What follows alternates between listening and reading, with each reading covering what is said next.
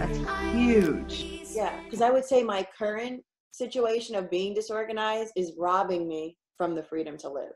It's very significant to me.